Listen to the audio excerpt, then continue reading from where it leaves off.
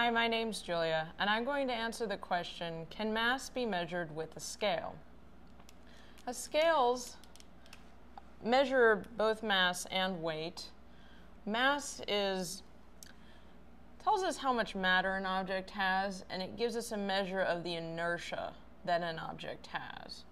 Whereas weight tells us what the force on an object is due to gravity. Both weight and mass are very closely related. In fact, you can calculate the weight of an object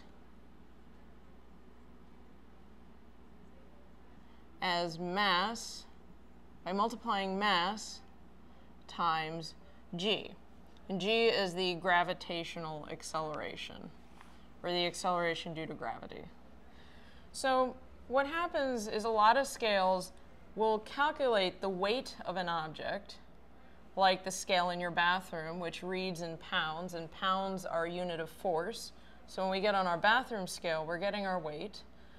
But if you have a kitchen scale, it'll weigh what you're putting in, and then it takes that and it converts the mass. It uses this relationship and converts the number to what the mass is. So you'll get kilograms, which is a unit of mass. So scales measure both weight and mass whatever you're looking for. Thank you.